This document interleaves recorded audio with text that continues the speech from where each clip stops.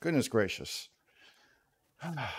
Just always running a step behind. Pardon me, I don't have my mic on yet. I haven't fixed my computer to do stuff yet. It is what it is.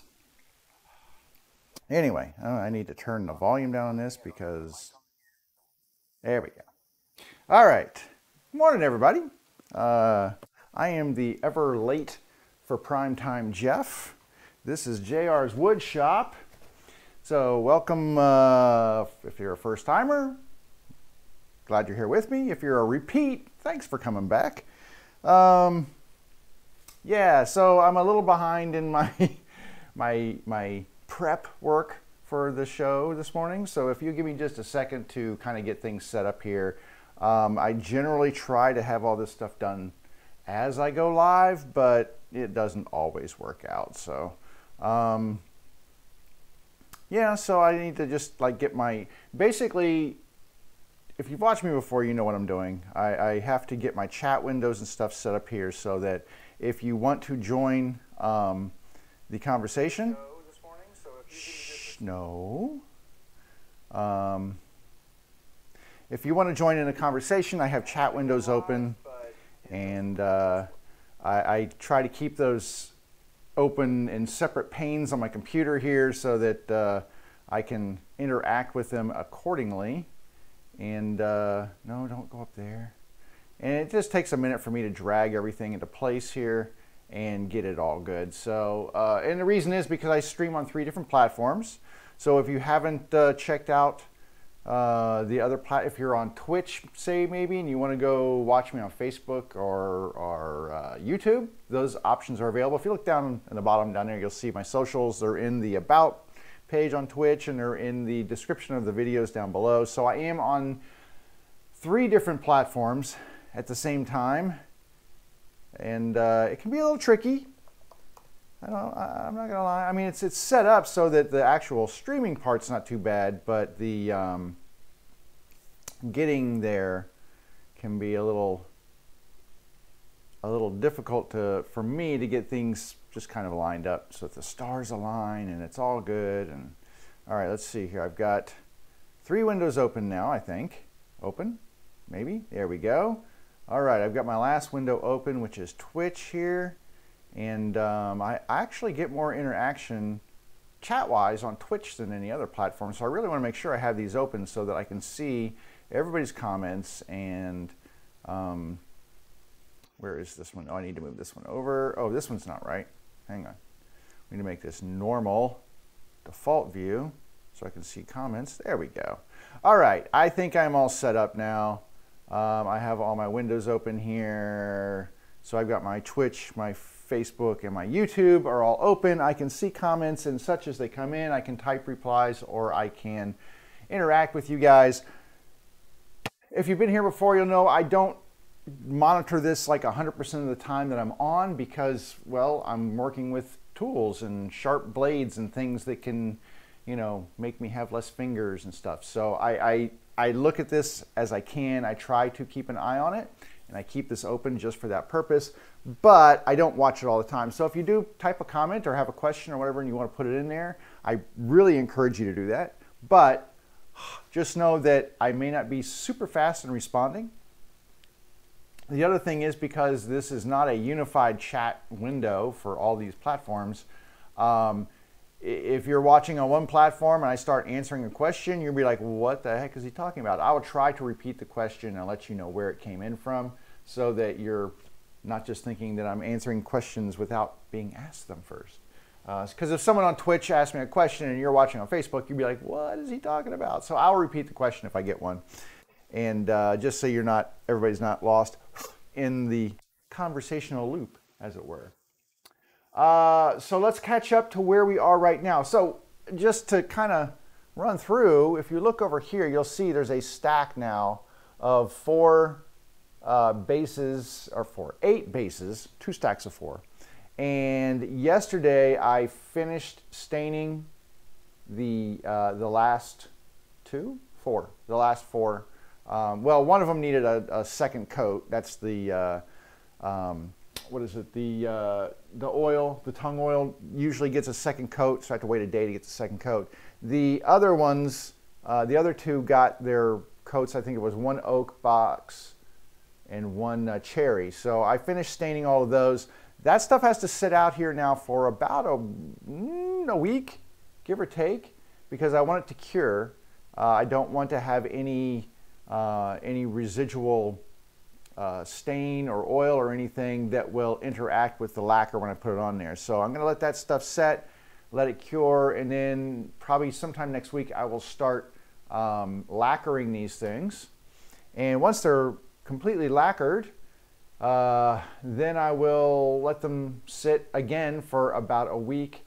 Um, I'll take some beauty shots of them. I'll post them on my webpage, and then we'll sell them.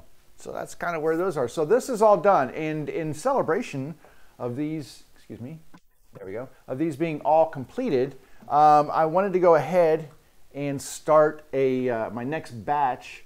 I'm kind of going through the remainder of my, my wood stores right now.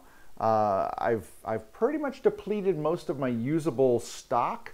Um, I have some stuff left over. And so what I did was on Monday, I kind of went through what I have left and looked at the, uh, the supplies that I have and then determined how much product I can produce from the raw materials that I have. It's the easiest way of putting it. Um, I have some beautiful uh, walnut right here. So lovely walnut. I had some, this is interesting. This is um, uh, quarter sawn um, sycamore. So it's got some really cool, interesting grain features to it. Kind of looks like leopard wood, but I've got some of this. Um, I've got some quarter sawn red oak instead of the standard white oak that I usually use. And I had a little bit of uh, just good old fashioned cherry. So what I'm going to do is uh, turn these into, instead of these larger bases, I'm going to go and make what's called a three quarter size base. That's what I call them. Anyway, and this is for another set of machines that is, well, three quarters the size of the normal machines that I make bases for. I mean, there's quite a few of them, and I, have got a lot of requests um, over time for those, and sometimes I'll try to throw one into the mix, but I thought this time I would go ahead and make, um, go ahead and make uh, quite a few of them. And then, you know, if they sit for a little while, that's okay. But it's nice to have stock uh, eh, for selling purposes. So if I can get these done, I mean, that's eight bases right there. This is, I think I've got seven. I was kind of counting it up. And these will be in the same kind of, grab these. It'll, they'll be in the same general format as these. So this is what I would call a standard size base with a storage compartment. You can see there's a little compartment here. It has a little lid. This one's already spoken for, by the way. Can't have this one. Um, but I also make just the standard without the storage compartment. So it's missing over here, but the machine would just sit in front. So these are the two basic formats that I make my bases in. Now, the other thing about these is that um, it, they're just the three quarter size machines are just smaller. So these are, they're just shrunk down just a little bit from these. Um, the other option, I'll show you this one. No, I can't show you this one because it doesn't have it. So the other option I put on these is to either have it with or without this logo on the front.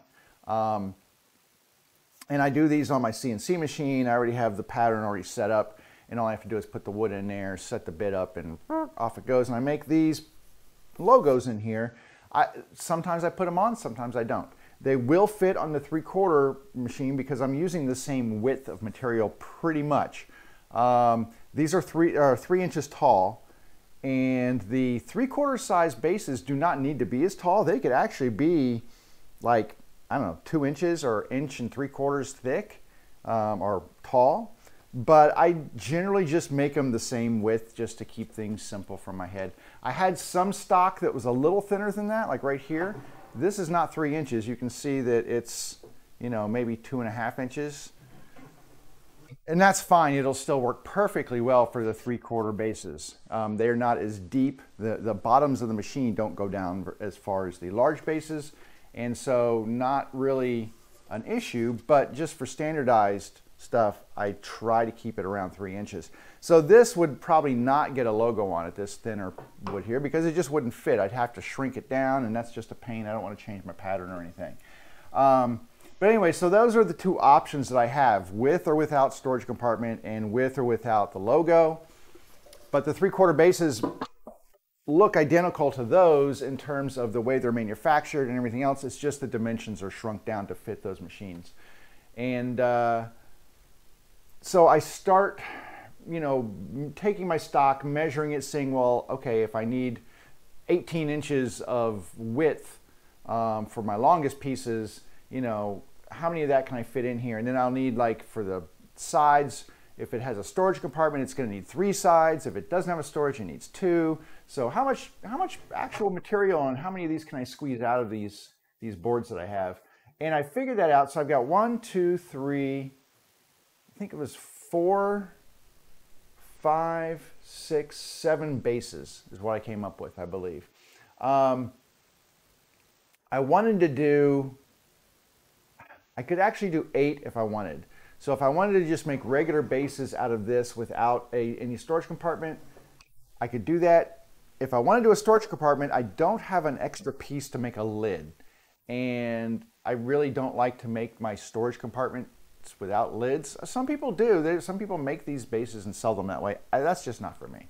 So anyway, um, I, I, think I'm going to just sacrifice some of this wood up and just use a couple pieces. I think I measured these out to figure out how many I could get on here. So what I did yesterday, along with staining, was I just kind of got my ruler out and started measuring to see how many actual um, machines I could make out of these, uh, or how many how many bases I could make. I'm sorry. And so I got one, two, and then this would take. So here's two sides, and then one, two, three um, end pieces if I was going to do one the storage.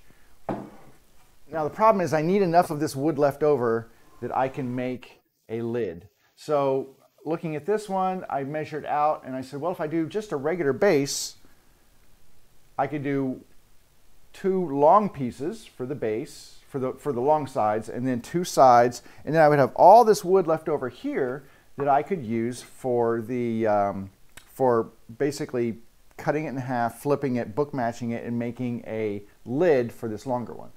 So one, two, three, four, five, six, seven, eight. So eight bases in total.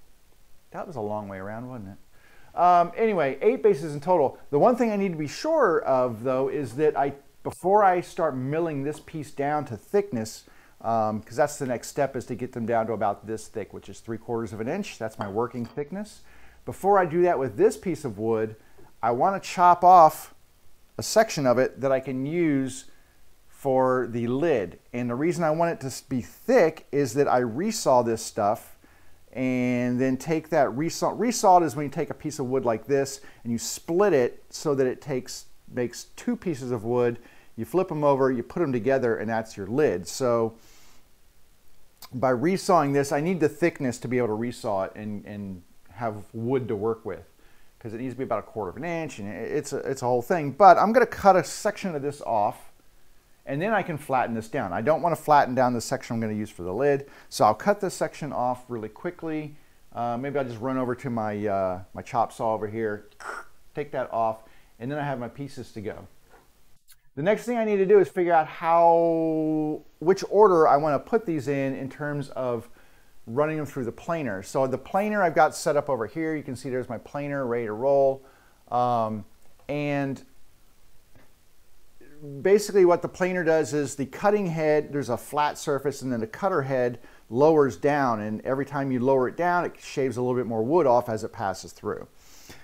So I need to start with the thickest stuff. Want to become famous by followers, primes, and viewers? Yeah, I wish I had the ability to actually just like, you know, I do, but I don't log in as myself on my Twitch, and I would like to go in and just ban people. who put these spammy messages in my Twitch feed. Anyway, I'm sorry. Um, not a real person, just a bot. Anyway, so I need to start with the thickest pieces first and get those down. And then as I get down to the next thickness of wood, which might be like this, Um, then I would start feeding all those pieces through. And then as I get down to a little bit further down, I might go to this piece, uh, to this thickness, and then start feeding these through. And then the last one is this. This is almost a thickness. This is basically, I think, let's see how thick this is. Yeah, so this is uh, 0.87. I need 0.75. So this is basically, you know, a tenth of an inch away from being perfect.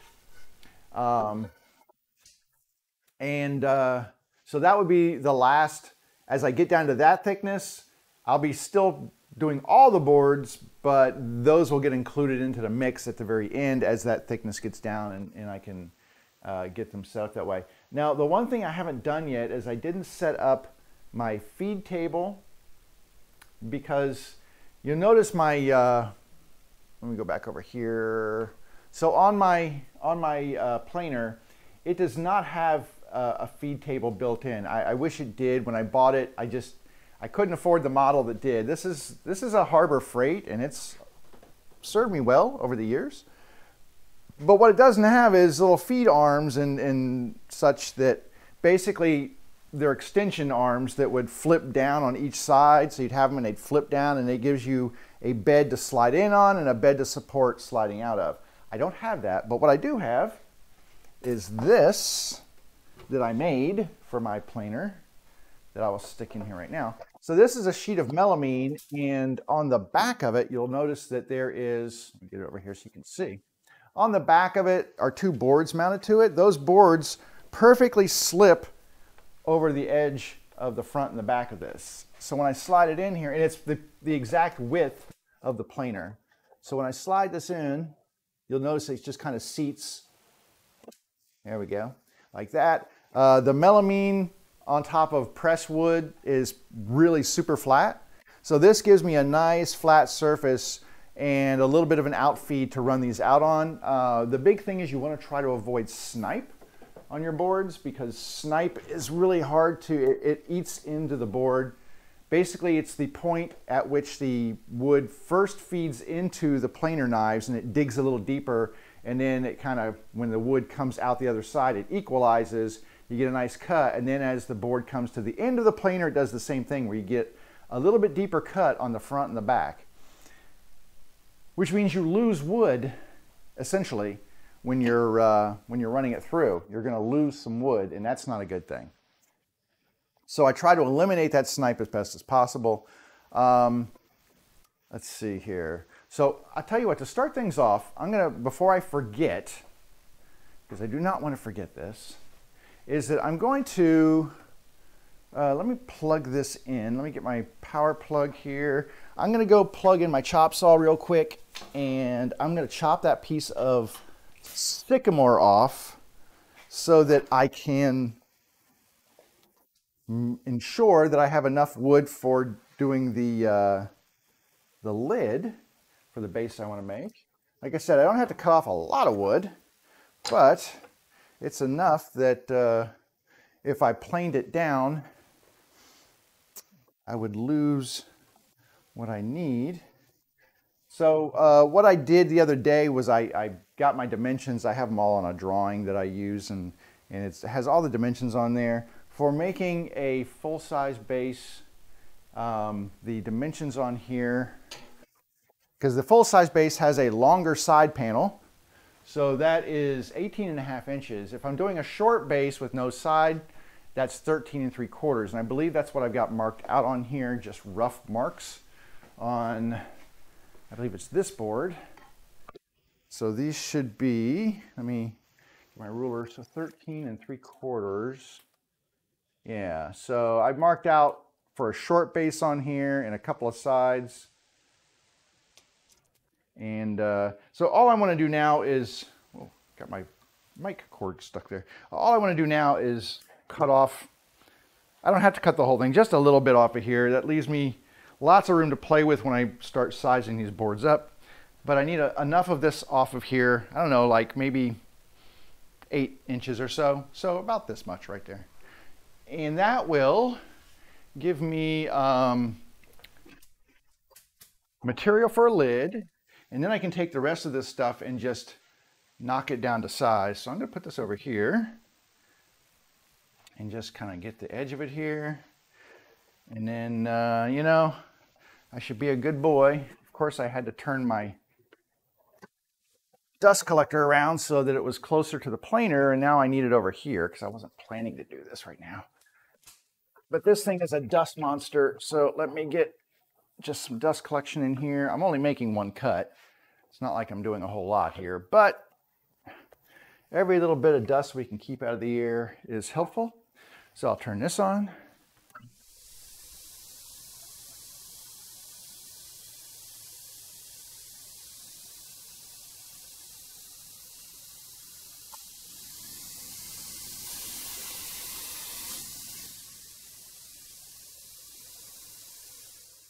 All right, so this is my lid right here. Um, I also have, like for all of these um, walnut ones, I have this piece of walnut that is really, it's really pretty. Um, this is, it's kind of gnarly and crusty and everything else, but I'm gonna make lids for the walnut pieces using this. And uh, they should be pretty gorgeous. It's really thick and chunky. Um, so I've got lots of depth to play with on this thing for when I get ready to make the lids on these.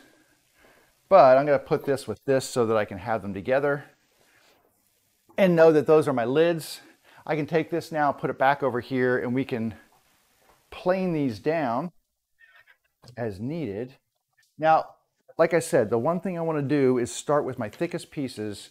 So I'm going to just measure these. I know these red oak pieces right here are the thickest ones. And I'm just gonna, you know, they're 11 or 1.185. That's 1.2. So these are my thickest. The thing is I need to figure out, okay, which is the thickest of these materials. And the thing is they're not uniformly thick. I think it's thicker down at this end. So let me take a measurement down here. Um, 1.184. So this is almost as thick as that oak. Just surprising. Almost as thick as that oak. Actually, it's thicker than the oak in places. So I will be starting with the sycamore, then the red oak. Uh, the mape or the walnut is 1.0, so it's just one inch. Um, so I'll take the, when I get down to an inch in the planer, I will then move to doing the walnut and including that with the rest of the wood. And then finally, when I get down to everything here at about 0.8 inches, I'll start mixing in these to get them worked out as well. Um, this is just gonna be one base because I've got some scrappy pieces here and stuff. This has a split in the end of it right here. Um, so this is just basically gonna be one base right here. So what did I say I had? Uh, uh, one, two, three, four, five, six, seven, eight bases. So we're gonna make eight more bases. Uh, I'm gonna go ahead and disconnect this. I'm gonna get my dust collection and move it back over to the saw. Now the one thing I'm gonna do here, because I do have a couple of longer pieces, um, I want to add some support. Let's see if this camera over here. So I want to add some support to the back side of this so that when the boards come off, they're not going to droop down because they are kind of, some of these are kind of long. So I've got this little thing right here, which is just a little roller stand. And I got this at uh, Harbor Freight. It's pretty cheap. It's just a little cheap roller stand. You can, uh, basically you just open up the legs. It's got little legs like this. You open the legs up and then you just set the, uh, the height. It has a little handle here oops, sorry, little handle here. You set the height at how high you want it to be. So let me get one of my longer boards here. And I'm just going to rest this on the table. Hopefully that's, yeah, there we go. So I'm going to rest this on the table and then adjust the height of this roller stand so that it is supporting the wood as it comes out of the planer. So we'll put this right over top of it. Put it up here. Now, I should probably move it away from here a little bit. So I don't know if you can still see me or not, but I'm gonna just down. Set it down a little bit more. Tighten this up. So what happens is this comes out, it, it hits this roller, which is right, right on the edge of your frame there. It hits this roller so that when this thing comes out and goes all the way through like this, it's not gonna fall down to the floor. It'll stay. So you can see there's the end sticking up, but it's not falling because I've got this roller stand right there. So that is the purpose of the roller stand. It's just really helpful that way. I have my dust collection um, attached. Now, hopefully, fingers crossed, when I start all this up, I got a lot of electrical stuff going on here. And I can tell you that this draws a lot of electricity when I do this kind of stuff. The dust collector is on a different circuit um, than the planer. Typically on the planer, I run this on the same circuit that the computer and the lights and everything else are on. I've run my, my extension cord all the way into the house to a different socket. Hopefully that socket is not connected to this socket because I don't want to take a chance on knocking the computer offline and having to restart the stream. Um, that would stink immensely. so hopefully I've got it plugged into a different circuit inside the house so that um, we can get a nice stream staying on while I'm doing this planing stuff. The, the, I really need to get some additional circuits in my garage because it's just really hard to do this kind of stuff. But anyway, let me go ahead and um, I'm gonna try to keep all this stuff separated over here. And I think I'm gonna move these over so I'm going to put these in, in order according to their thickness. So those will be last. So as I pull them out and start running them through, it'll take a few um, runs to get these down to the thickness of the, um, the walnut. So I'll keep measuring. So I'll get my calipers. So I've got my calipers right here. I will keep using those and I will measure as I go um, the first thing I need to do is set the thickness on one of my one of my thicker pieces here. So I'm going to set the initial thickness here. So I'm just going to put this in, lower this down a little bit, and till I hit the rollers, but still clearing the front here. Yeah, right there. And then uh, we'll make a pass. So I'm going to turn on everything. Let's do a test pass on this and see how we're looking.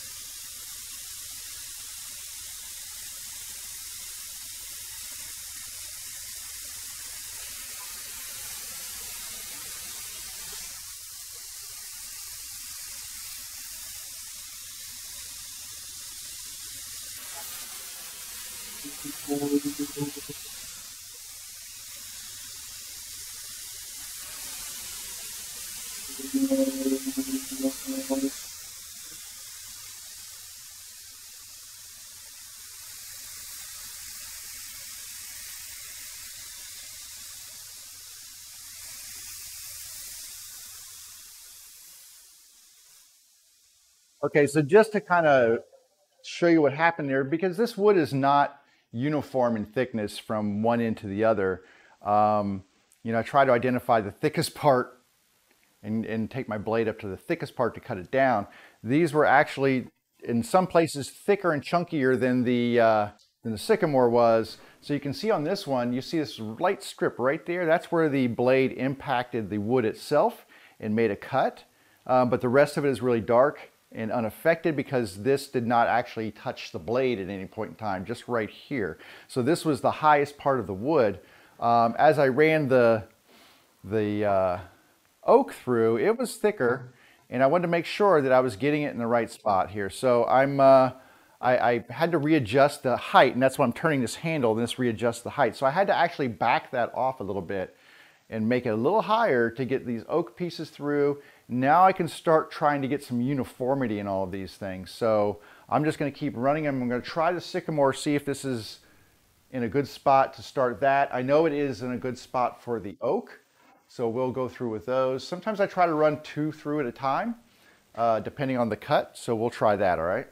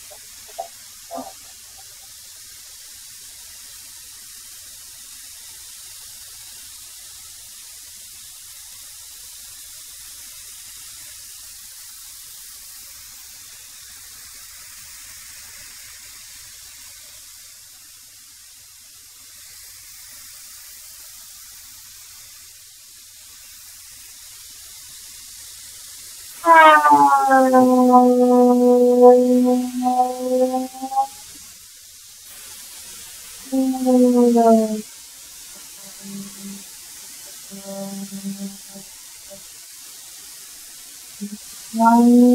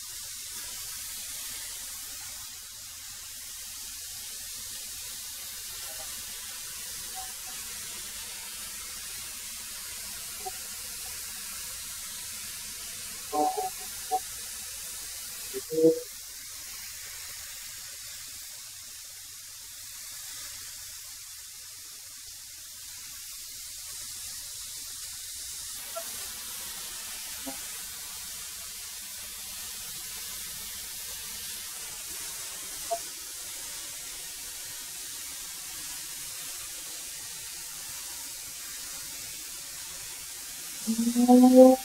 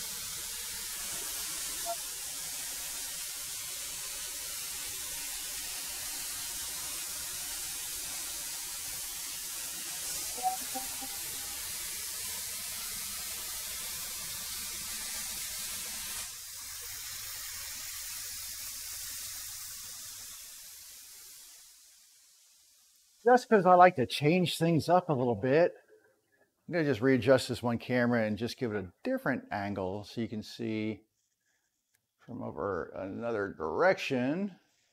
I'll just take another view of what I'm doing over here. That looks good. So I'll switch you over to camera three now. There we go, another view. Um, I'm also gonna just take a second and raise this feed table up just a tiny bit.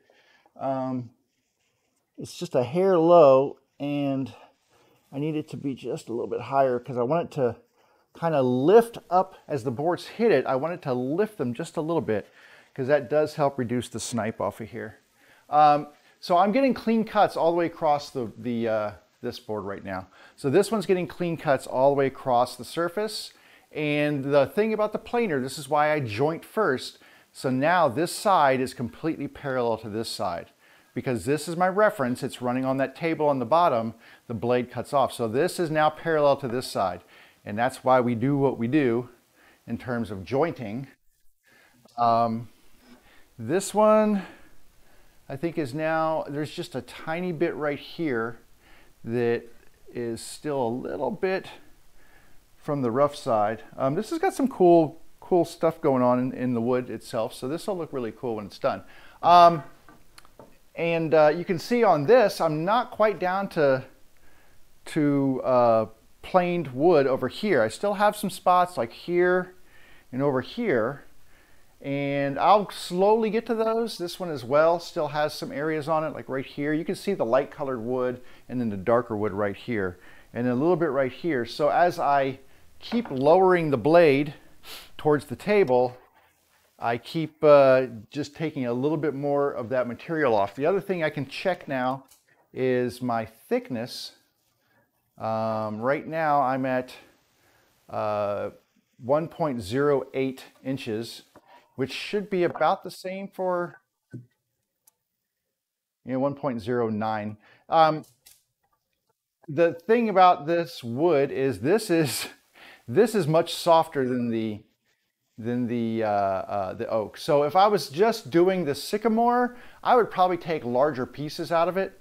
But because this is also running with red oak and then soon to be walnut, I have to be careful that I don't, um, that I, I don't uh, take too much wood at one time because it will, it will overburden my planer. This is not the world's beefiest planer. I think it has like a one our 1.5 horse motor. I'm not sure even what the horsepower rating is on this thing.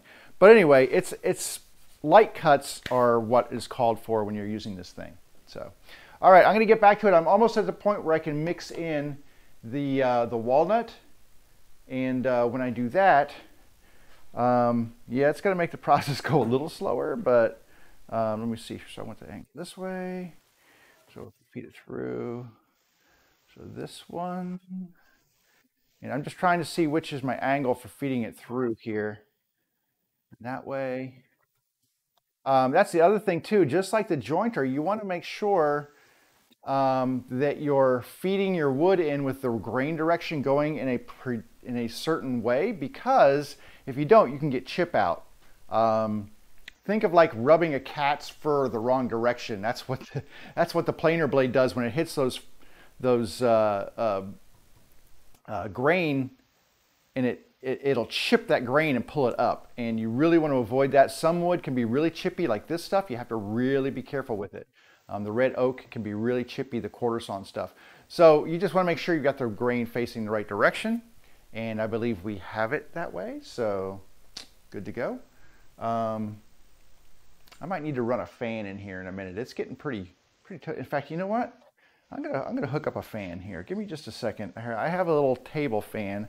I just need to find a, uh, an extension cord to run it on um, because it's getting warm in here and I mean, I knew it was gonna be warm. It's supposed to be like 95 today. Um, so while hopefully the heat dome bubble is going away for folks in the West Coast because God knows they've suffered. Um, it's, I think it's shifting this direction towards the East Coast. And we've been hot, but we haven't been like ludicrous hot. like they have been on the West Coast. I mean, you know, multiple hundred days in Seattle and uh, uh, Portland. They're just not built for that. Um, I mean, I'm not saying I am either, but you know what? Most of the homes here have air conditioning. I was reading something that like only like 45% of the homes in Seattle have air conditioning, which they don't need it, right? Supposedly. But they do now. All right, I've got some air conditioning running, which I call a fan, but it's blowing right at me, which is a good thing. It keeps it cool, and then we can march on. So I'm gonna take another cut or two on here, and then I'll probably start mixing in the, uh, the walnut as well. So then we'll have pretty much all the wood being batched through. I know this is like the most exciting must-see TV for everybody involved. So I'm sorry, but it is what it is. This is real woodworking, not like the 15 minutes you see of compiled stuff. This is, this is it. So, you know, grab a cold one, kick back, enjoy the air conditioning and watch the show.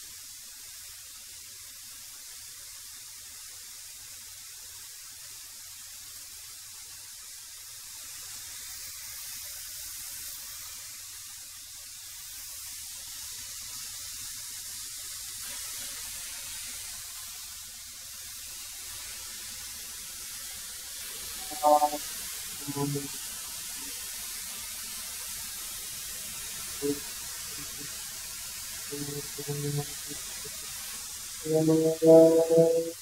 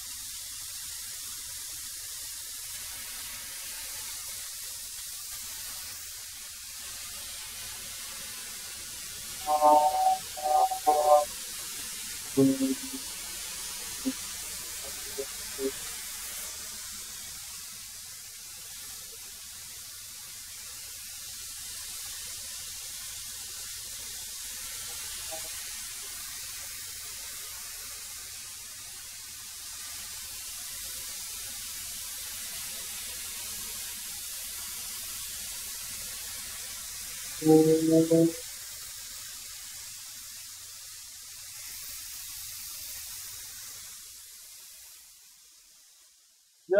to show you, that was, uh, like how it kicks off.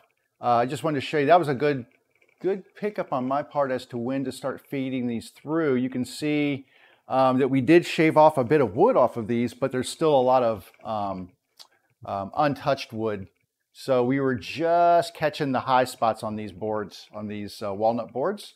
And that was my whole intention was to try to get these things um, into the mix while we still had a good height. I didn't want to get too low to the point where we were taking off more than we can bite at a good time. So good, good, good job on my part. Well done. Pat on the back. All right, we're going to continue now because now we've got them all going through the planer. Um, we're still well away from our, our target. Um, we have to take off about another quarter of an inch is what we're looking at. I'm only taking off maybe a 64th to a uh, 32nd of an inch at a time on these boards. So uh, just for reference, I'm gonna I'm gonna get a reading on this oak one right here in the middle. So this says 1.0505. All right. Um, so let's see one pencil up here. One point. What did I say? Five zero 1.05, well, it says 1.05. It's, we're talking thousands here, so it's not really. Right at the air, I'll do it right at the mark there. 1.0535. Okay, so 1.0535. And we'll come back and measure this after I take another chunk off. We'll come back and measure it and see exactly how much material is coming off. I turn the handle about that much. Um, that's lowering the head, but um, not a lot. So let's go ahead and see how much that loses us.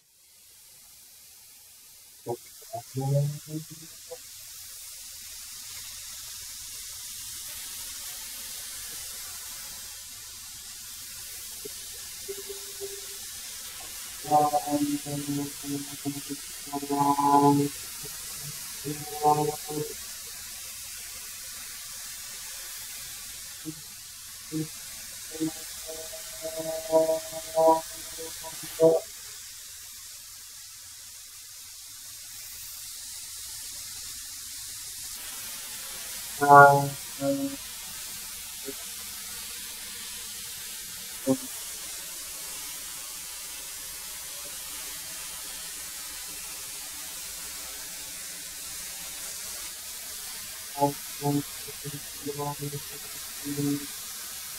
you.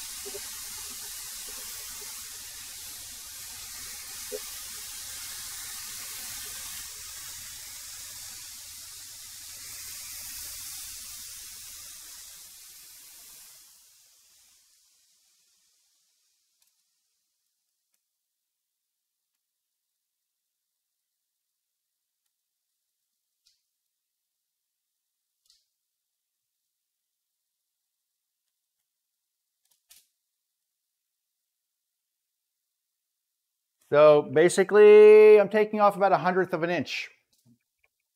Yeah, um, not a lot of wood coming off of there. Uh, I, I, might go down a little bit more, but I don't want to do too much at a time. The other thing I need to do, while I'm taking a pause real quick, is I'm going to check my dust collection. Yeah, and it's full. So I need to empty this, which that's the thing about planing is it creates, oh my God, a lot, a lot of dust chips. So I need to empty this. Now we'll probably end up doing this a couple of times um, because it just creates havoc here. Um, Probably need to turn this fan on also.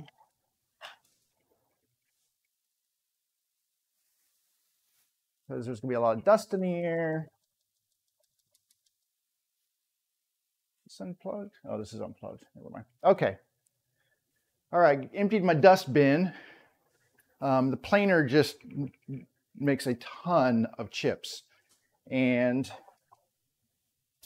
if I don't keep this thing cleaned out, basically it's not going to do its job and then it just gets all over the place. So that's all there was to that though. Not a lot.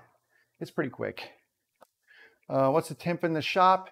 81 and a half degrees in the shop today. Lovely. It's balmy. It's like beach weather in here, right? Humid, hot. All right, let's take a chunk off of this thing. See what we get here.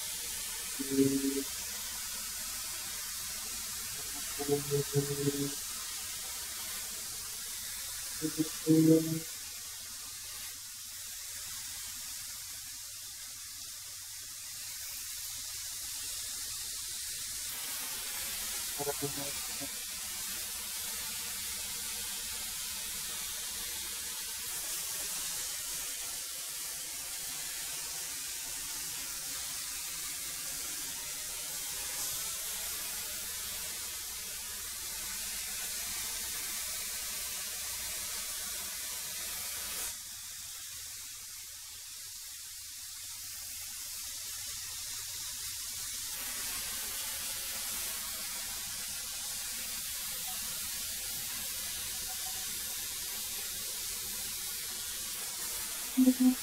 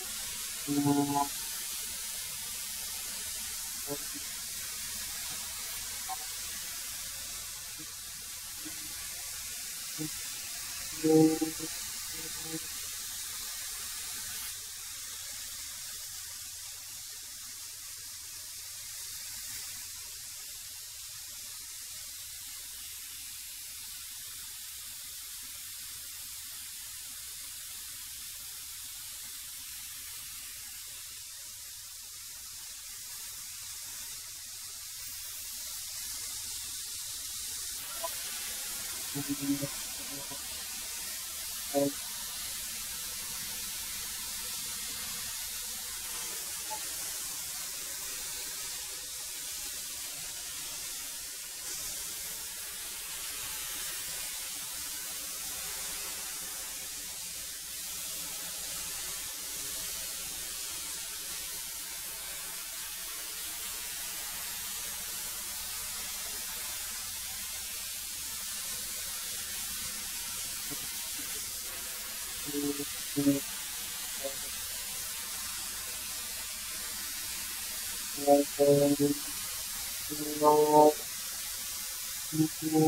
Thank you.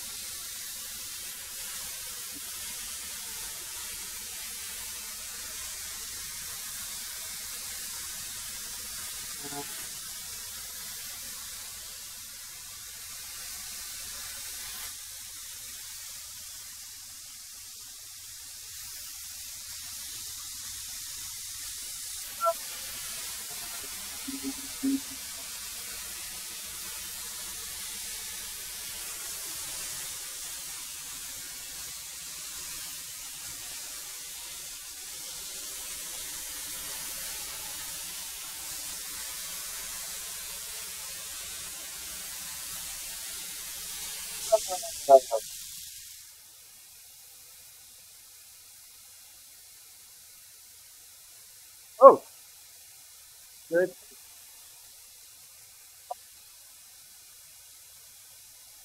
Uh-huh.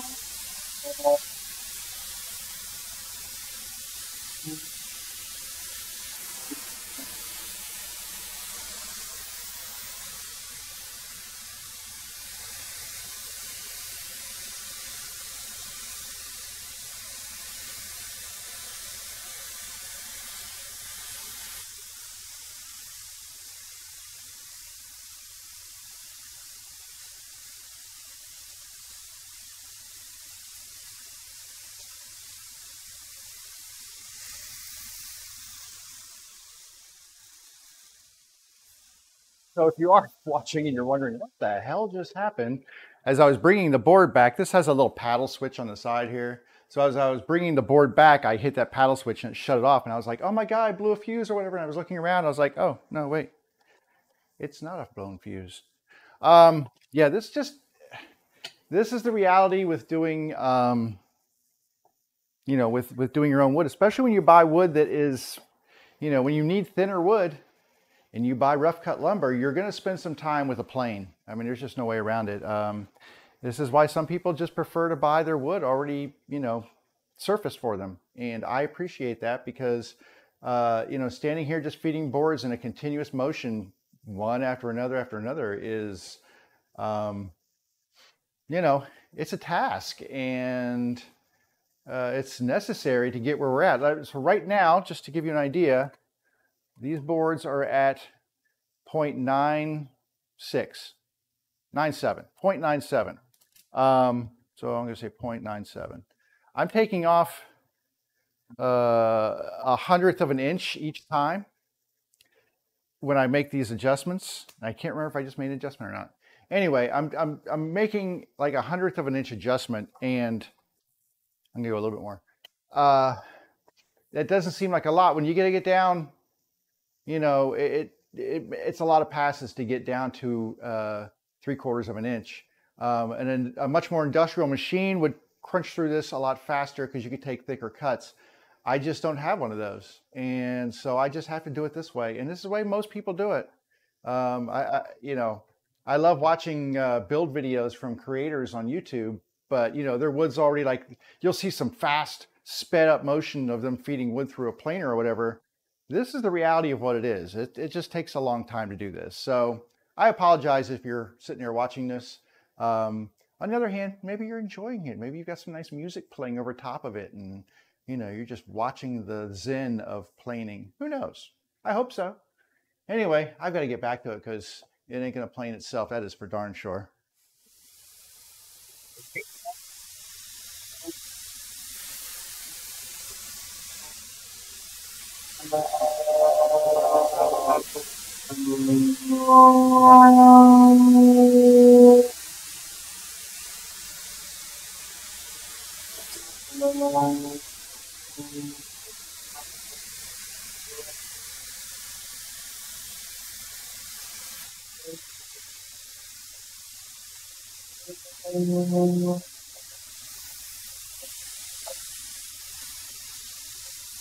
I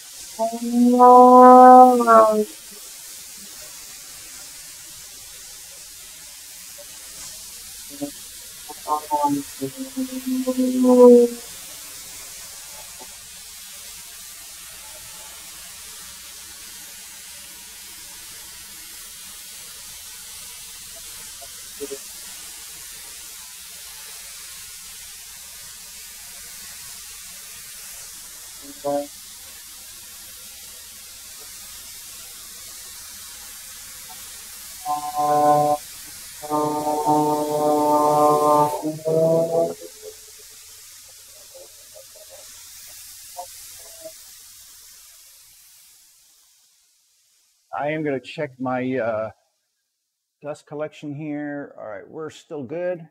Um, because I need to make sure that I'm not filling that bin. I'm getting it emptied before, before it does get full. My large, it's probably already spilled over to the large one, which isn't giving me mass efficiency, but that's all right. Take a big chunk out of this. Let's move this along, shall we? Um, the interesting thing is I've got some uh, some interesting like features in the wood here. Like here's a wormhole right here that I'm planing down to. There's a little bit of a knot right here in this board that I'm planing down to. The thing is they're not very deep. And by the time I get this down to three quarters of an inch, I'll have planed past those and uh, revealed fresh wood underneath them. So, you know, it's, it's cleaning up, not only is it cleaning up the rough cut, but it's cleaning up some of these uh, things we'll just call them things in the wood.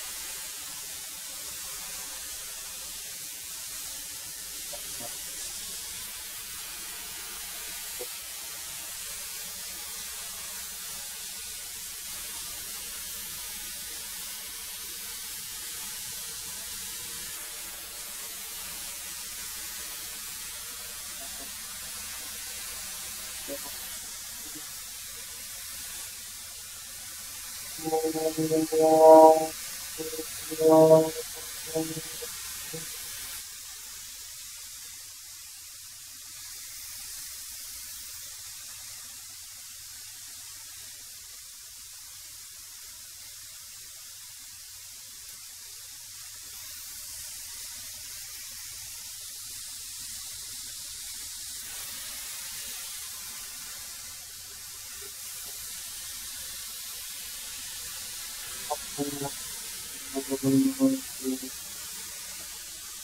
you.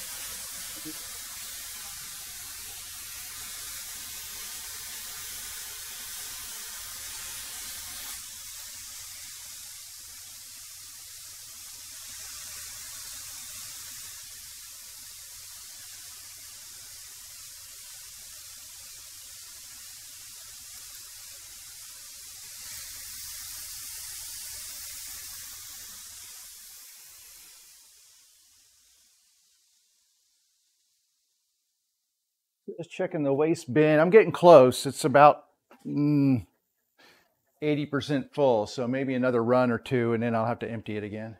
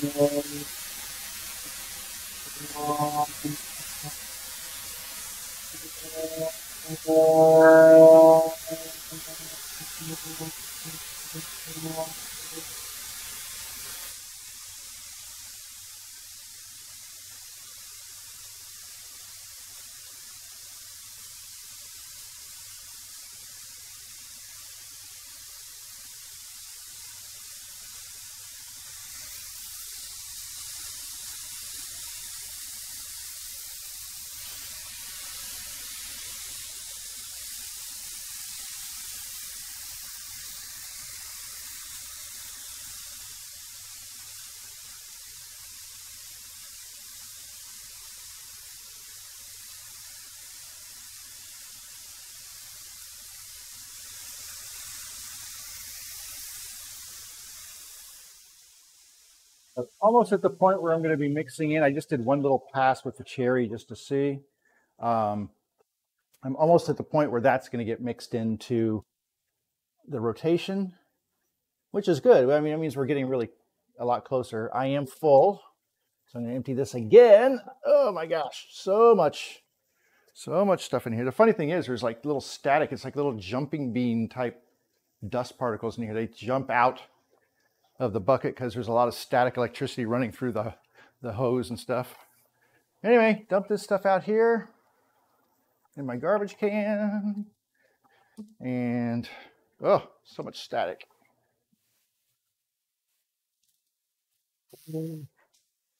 Try not to breathe it in. I hold my breath when I do that, so I don't breathe that stuff in. All right.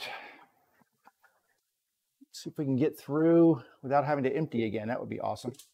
I don't know that that'll happen, but we're to give it a try here. All right, squeeze back through tight spaces. What time is it here? 1230. Doing well. I mean, when you consider all I've done is plane wood today, but you know, is what it is. The plane, the plane.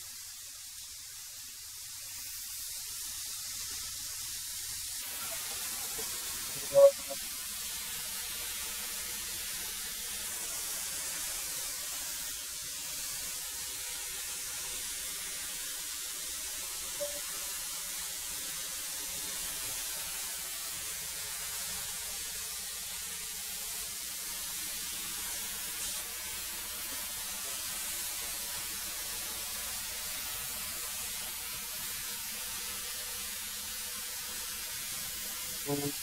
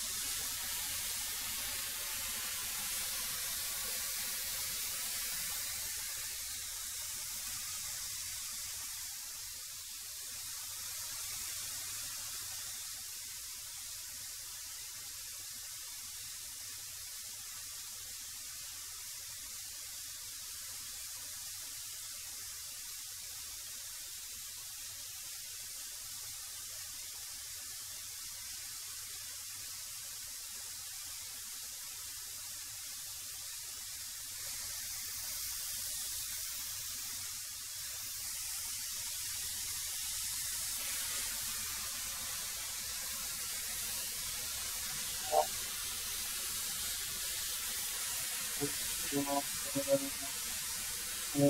you.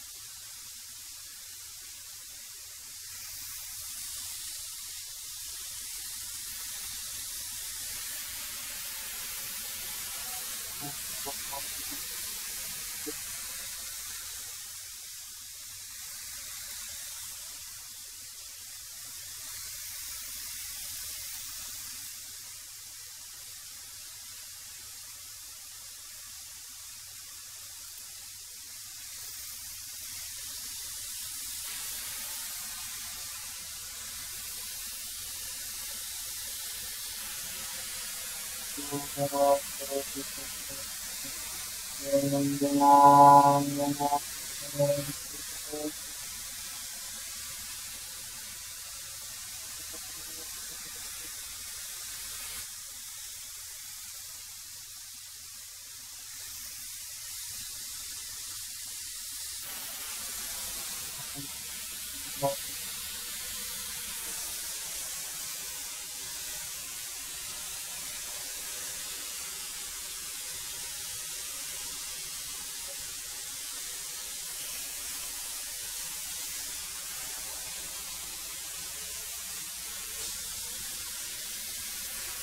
Thank you.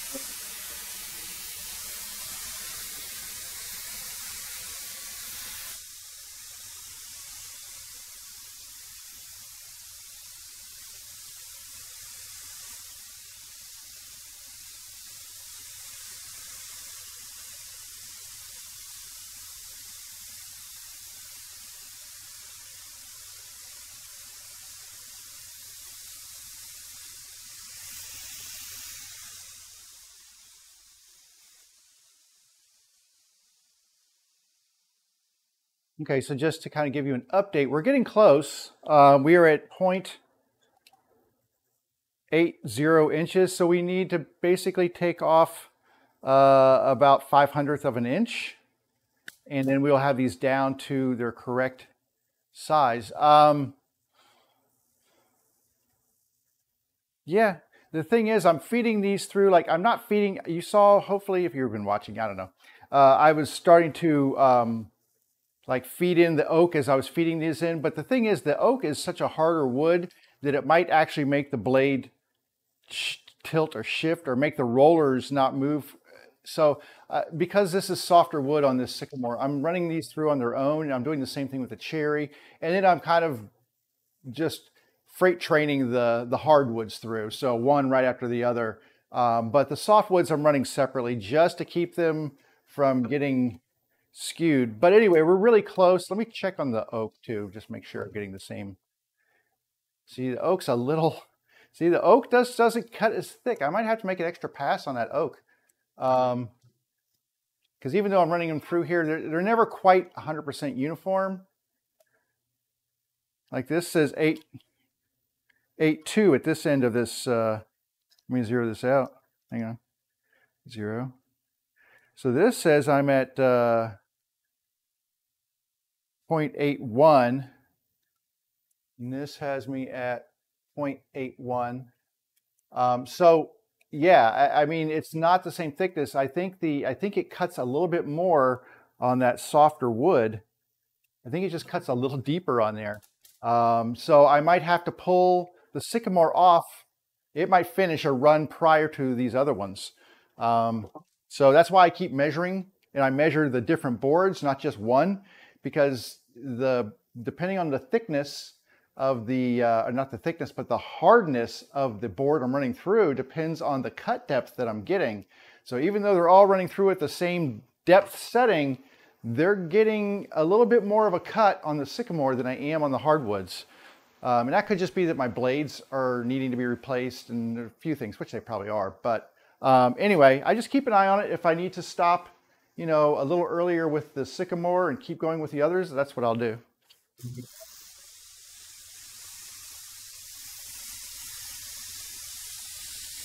Oh.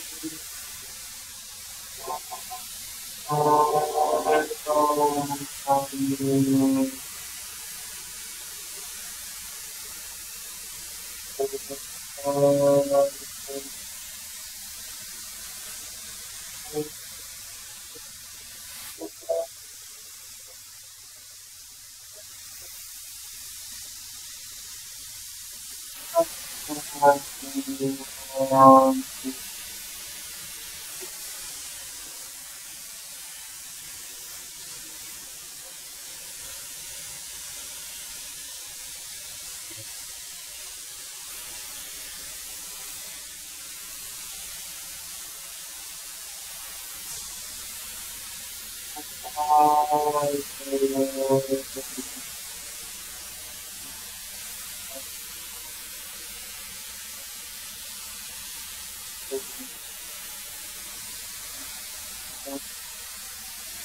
Thank you.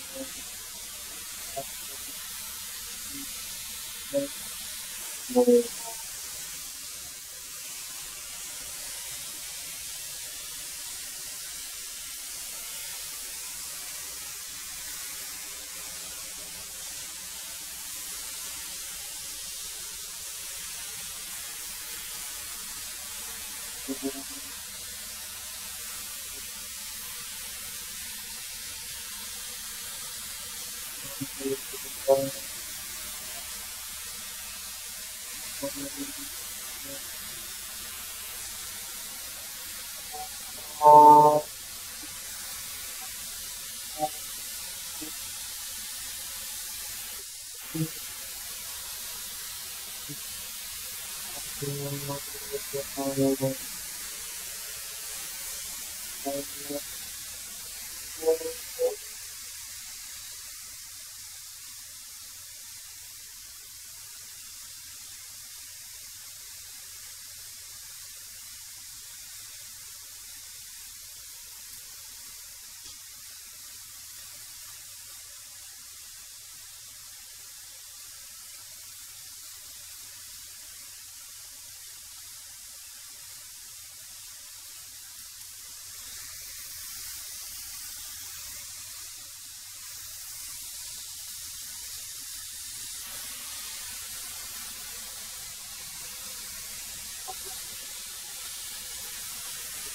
自分の気持ちで見てることです。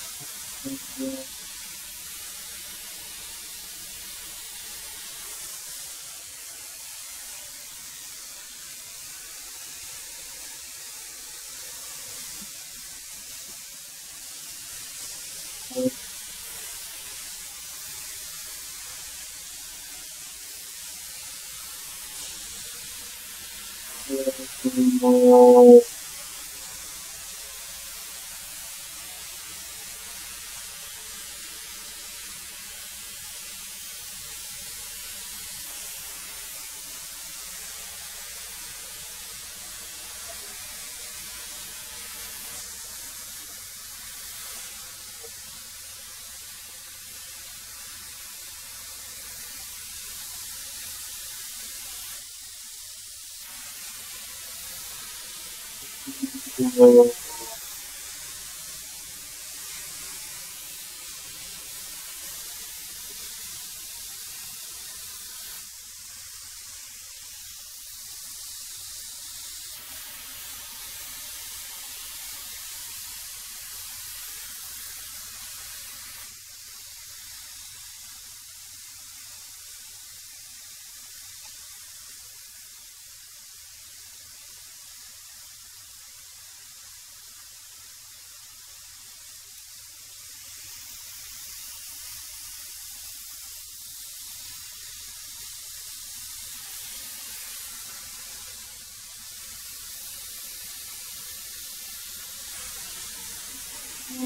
Oh, oh, oh, oh, oh.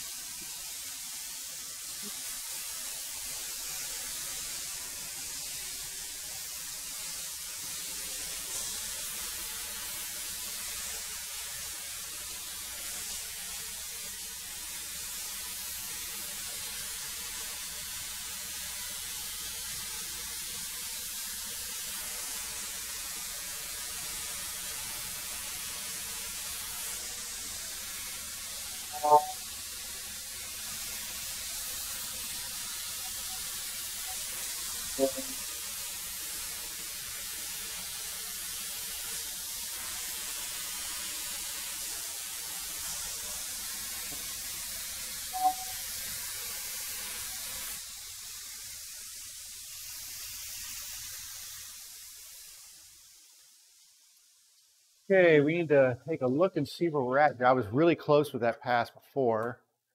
And, oh, dang. Well, see, this is crazy. It's like, oh, now I'm, now I'm a little, I'm a little thin here, actually. I, I'll, I can live with a little thin, but see, this is what's so weird. It's like the wood, even though it's going through the same process, different thicknesses. Okay, these are done. Sycamore's done. Let's try the uh, cherry. Is done. So cherry's done. Uh, white oak. She's, it's done. Eh, it's not super uniform, but it's pretty close. So I think we're done here, gang. Believe it or not, yeah, 754. 744 746 so you know if i'm like you know four hundredths of an inch off i'm okay with that. So yeah wow. All right. It's hard to believe i'm actually finished um because that took a long time.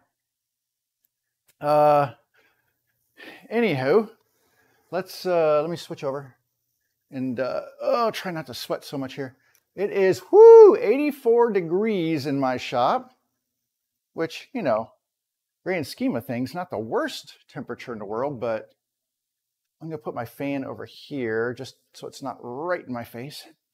But um, yeah, it's it's warm in here, and I'm glad I had this little fan kicking some air over there. Um, so we've got wood now that is finished on, it's really Okay, this is surfaced on three sides technically um, because I jointed the bottom and one edge and then we've done the planer. So now what I'm gonna do is, uh, not today, to Friday, what we'll do Friday is I will take these down to their, their final width, um, which it'll be, depending on which piece of wood it is, will be close to three inches. Um, if it's a hair under, maybe, you know, 16th under or whatever, that's fine. These obviously will be much thinner than three inches, but that's okay too. That's the way those are going to be. Um, but that gives me that'll square that one side up now with the uh, jointed edge. So those will be parallel and these will be parallel and they're all square to each other. And that gives me lumber that I can actually start working with and making something out of. And that's kind of the whole point here. So um, yeah, it, rough cut lumber is not for everybody. I'm, I'm just going to say it. It is not for everybody. It is not a, um, uh, uh, everybody doesn't have the tools to do it. Um, not everybody has the desire to do it either.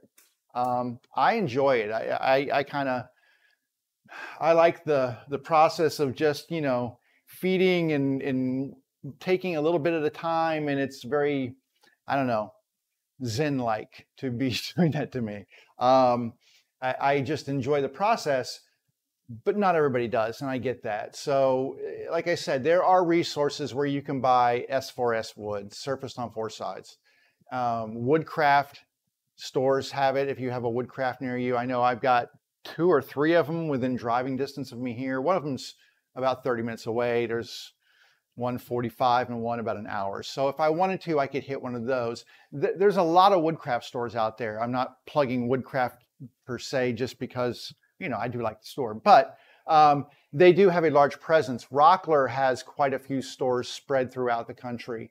Um, there are other hardwood places spread throughout the country. Um, there's a place, no, I can't remember the name. There's a place in Ohio um, that does a lot of stuff where they will finish the boards for you. Um, anyway, Pennsylvania, I'm sure, has a ton of places. And I know there's Arizona, which is where Woodworker Source is. Why Arizona, I don't know, but that's where they are. So they have three or four stores. So just go look up hardwood um, suppliers or hardwood resellers. Oh, here's another place. I just thought of this eBay. Believe it or not, you can buy surfaced wood on eBay and you can buy exotic wood on eBay. Um, it's a little pricey and you got to pay some heavier shipping costs. But if you're going to have wood shipped, you might actually get a good deal on some stuff. So check out eBay. Check Craigslist. Believe it or not, people buy wood and then don't use it. they sell it on Craigslist. So if you don't want to go through this process or you can't go through this process because you don't have the tools, but you want to build stuff with nice lumber and not just, you know, uh, stuff you get from the, the big box stores, um, check out different resources around. You can find them. They're there. Uh, you might pay a little bit more for some of your stock. You're definitely going to pay more for surfaced wood than you would for rough cut. I go to a rough cut distributor. That's all they sell is rough cut lumber. And I think they might have the facilities to actually do milling, but I don't even, I have never inquired because I don't, I do my own milling. Um, but they have a ton of stuff. And so a lot of people will travel from far and wide to go there and get their wood because the prices are really good. And that's one of the benefits that I like. I like the fact that if I go there, I can get the width of the board I want, the length of the board I want, the thickness of the board I want. And I don't have to compromise by taking somebody else's choices. I can make my own choices in, in my board dimensions. And so to me, that gives me a lot of flexibility. Um, when I go and restock, I'll just buy a whole bunch of like cherry and I'll buy 10, 10 inch wide boards of cherry because I know I can get three inch wide strips. I can get multiple three inch wide strips out of that 10 inch board. If I bought that at maybe a uh, Woodcraft, I don't know if they would have 10 inch wide boards. They might only have six inch, which wouldn't work for me because I can only get one three inch wide board out of that because of the saw kerf. And then I'd have to throw away a whole bunch of wood. So that's what I love about going there. And I enjoy the process. Um, it's it's just a uh, like I said, it's kind of I won't call it therapeutic, but it's pretty for me. It's some just one of those things that you get in the groove and you just start feeding the boards and checking them and feeding them and I don't know. Um, anyway, uh, the more interesting part of these builds is coming up on Friday. Uh, I will start, like I said, I'm going to get these down to their S4S. I'm just going to run through the, uh, the saw. That takes no time at all. And then I'm going to go over and we're going to be doing a lot of work over on the crosscut saw behind me. It's uh, over there. That's the crosscut saw. Um, we're going to be doing a lot of work on there because we're going to cutting our boards to length. Uh, and that's the first step in, you know, really getting these to start coming together. Um, we're going to cut them to length so that we have all of the working materials that we need. I'll make sets of working materials for each box or base, whatever you want to call it. And then uh, the next step after that, probably next week, we'll start doing the joinery on them, which the joinery is not very complicated, but um, yeah, that's where we'll go. So uh, what's today? Wednesday. Um, hopefully the weather will cool down a little bit by Friday. Um, and uh, hopefully it'll cool down where you are if you're in some place that's really warm. And uh, what time is it? It's it's one o'clock. I think I'm going to call it for today because I'm really at a stopping point where there's not much more for me to do. I'm going to go move these bases over here inside, the ones that you already saw that are already finished. Um, these turned out really, really nice. Um, yeah, I love this. Uh, with a tung oil finish on it is just a really, really nice thing. Um, it's not super smooth yet, but when I put the lacquer on here, um, this thing will feel like a baby's butt. Not that I advise you go around feeling babies' butts, but if you're a parent, you know what I mean. Um, it'll be super smooth once I get the uh, lacquer on here. By the way, uh, I scored, just a, a, little side note, I went to um, Walmart the other day and I always walk through the paint section when I go to Walmart just in case I get lucky. And I actually found four cans they had five. I left one. You know, somebody might want it. But anyway, four cans of the uh, the Watco Semi Gloss lacquer. This is the stuff, man. I'm telling you. If you like a kind of a natural wood finish that looks um, kind of like a hand rubbed waxed finish on there, it's not it's not super shiny. It's not matte. It's like a nice semi gloss in between. That is the stuff, man. It is really nice. Lacquer is beautiful to use because it lays down really smooth. It melts into the layer that's already there because it has solvents in it. So you just keep doing additive layers. You don't have to sand in between each one. I usually, I usually do like four or five coats. I get 400 grit and just lightly sand the top to remove any dust nits. Do one more coat and it is like super smooth, feels fantastic, feels like real wood. Lacquer is the stuff, man. That's all I'm going to say. Anyway, I'm going to wrap it up. Uh, I got I've got a lot of vacuuming to do. Probably need to empty the dustbin one more time. Um, and then I've got some other stuff to do today. I'm not going to do any shop work tomorrow probably because, well, I have another project I might get to. But otherwise, I'm not going to do anything in here until Friday. We'll come back and we will uh, we'll start knocking these things down into smaller boards and start making him look a little bit more like a wood project and not just a stick of flat wood. So how about that? So thank you for coming. If you came in, um, if you would do me a favor, if you did stop in, you're watching, whatever, if you could hit the like button, you can hit the dislike if you want. I understand. But if you would hit the like button, that helps me out a little bit. And follow, subscribe, whatever's appropriate. Don't do anything that costs you money though, because, you know, I'm not here for the money. I'm here to share the experience. So anyway, I hope you have a great day. Stay cool. Take care of yourselves. Take care of each other. And I will see you all on Friday.